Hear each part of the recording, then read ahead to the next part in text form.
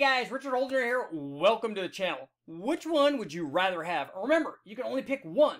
A 383 stroker Cleveland or a 427 stroker Clevor. Ah, what the heck. Let's just do both. In this video, we're going to take a look at what happens when you install a set of aluminum CHI 3V Cleveland heads. First on a 383 stroker Cleveland, then again on a 427 stroker Clevor. Now the question isn't do these heads work? We know that they do. Just take a look at the results from all of the Engine Master stuff that Kazi did with these amazing heads. We know that they work. The question is, did we take advantage of everything they have to offer? This is an interesting build-up, mostly because it is a Cleveland, but for a number of other reasons too. It's also a stroker Cleveland, and it's an aluminum-headed 3V CHI stroker Cleveland, but it also is a perfect example of having way too much cylinder head for our combination and not really taking advantage of it. This test was run long ago, but I wanted to get some more Cleveland videos up. So here is a stroker Cleveland. And we're going to take a look at a Clevor next. But this is a 383 stroker Cleveland. This thing started out as an early 70s 351 Cleveland. In fact, this motor was given to me by the guys, by Jimmy and the guys at HP Performance. So shout out to Jimmy. Thank you very much for that, for back in the day. This one is, I would call it semi-famous. This particular motor was, this Cleveland was used for a number of different engine tests, starting out with just rebuilding the motor basically. And you, we use it as the basis for our Boss 351, for the Cobra Jet, for a ton of camshaft tests, for a ton of intake manifold tests, for all kinds of things before it was eventually disassembled and reassembled back as a 383 stroker. In fact, it was a little bit bigger than that because this was a 4, uh, 40 bore, so we had to bore a little bit more than 30 thousandths to get the thing cleaned up. And we combined that uh, 40 over with a 375 stroker crank. The crank was a cast crank from Scat, but we did use forged rods. We used H-beam rods, 6125 rods, and a Forge flat top probe piston with about a 7 cc, you know, valve relief dish in that in that and that combination worked out well. We put a flat tappet camshaft in it. Obviously, we could have run a roller, especially with these heads. And looking back, we probably should have done that. Um, but the flat tappet was an Xtreme Energy 284. It was a 584, 588 lift, so decent lift, although it was still a flat tappet. It was a 240, 246 at 50 and 110 degree lobe separation angle. Really, this thing deserved a, a, roller cam and a lot more RPM, as we'll see from where this thing made peak power, given how much head flow we have. But obviously, um, bringing everything together was the and the real reason that I even built this motor was so that we could put these CHI aluminum 3V heads. And for those of you guys not familiar with a 3V head, it's in between a 2V and a 4V. So it's not this, it's not these smaller um, 2V heads and it's not the very big 4 valve heads.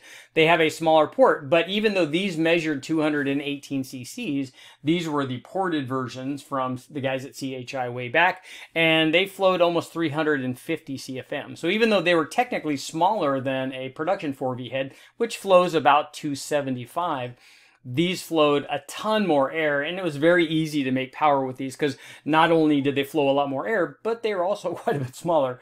So we had the comp cam we had the chi heads and we also put a matching chi 3v single plane intake. Now way back i did this as a comparison between a set of stock heads and unfortunately all i had was another stock intake. I didn't have a single plane to run it on so it wasn't really a good you know apples to apples comparison.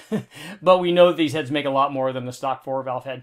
But given these power numbers, and I'm sure that everybody's going to chime in and tell me that, um, either either stock heads would probably get you here if, if everything were right, um, or certainly ported stock heads could get you here too. So you don't have to spend all the money on CHI3V heads.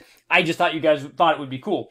So we have uh, all of our combination together and the single plane intake obviously pushes power out a little bit further. In fact, this thing made peak torque past uh, about 5,200 RPM. I kind of expected it to make more peak power out past 6,000, but it didn't seem to. We didn't have a lot of valve spring in this, um, and these had fairly big valves and. The 218 CC CHI 3V heads had a 215 1650 valve package. So had a pretty big valve. We got our valves from Ferrea and we got a valve spring upgrade from Comp Cams, but because this was a flat tappet cam, we only had about 135 or 140 pounds of seat pressure on the hydraulic flat tappet cam. We also ran with these heads, we ran a set of engine or, or uh, 1.73 aluminum roller rockers from Comp Cams Um, Comp Cams also supplied, obviously, the push rods that were necessary for this. And we ran this with a Holley 750 HP carburetor and an MSD distributor all of this stuff combined together to give you what you see here.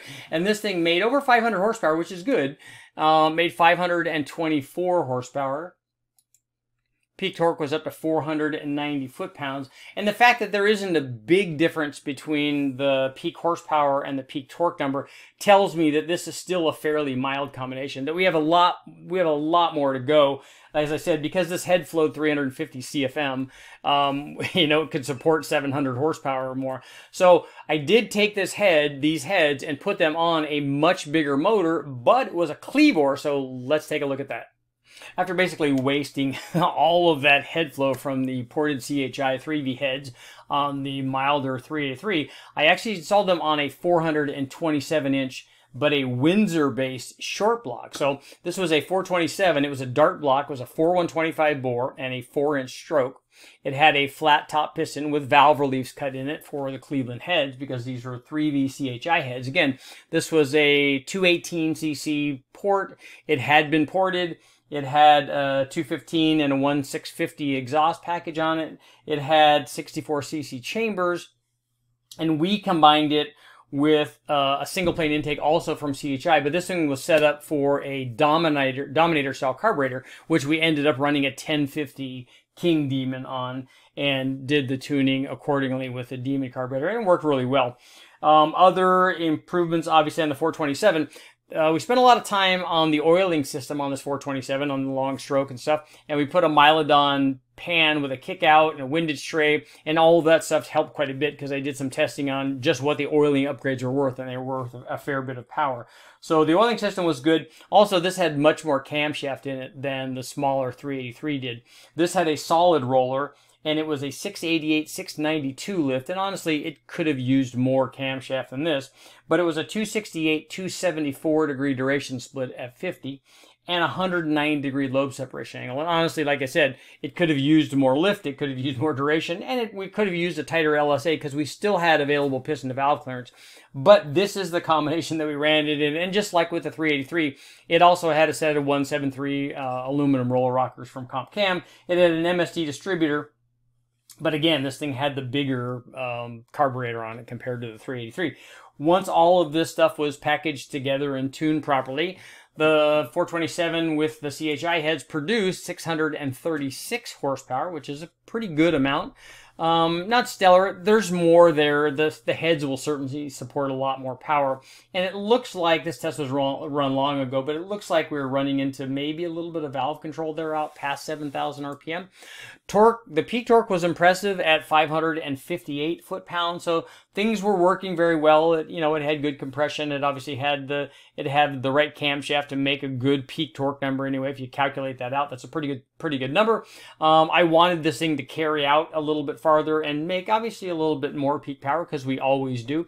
But this is what it did. But it's not because of the CHI heads those things will make a ton of power, as Kazi showed in all the subsequent testing. Because this is back when, uh, right after Engine Masters had happened, and he showed that you know he with these heads you can make a ton of power. Certainly a lot more than we made here. But these are the two that I did. So we did the 383 and we did the 427 uh, Clevor with the three uh, 3VCHI heads, and this stuff all worked out cool. Let's get to our conclusion. Okay, guys, what do we learn from our testing with the CHI 3V aluminum Cleveland heads? Well, we learned that they work very well, and we also learned that we didn't take full advantage of everything that they have to offer. Let's take a look at the 383 first. I actually did a back-to-back comparison on the 383, comparing the factory 4V head to the CHI 3V head. And the CHI 3V head, the upgrade was worth about 45 or 50 horsepower compared to the factory head.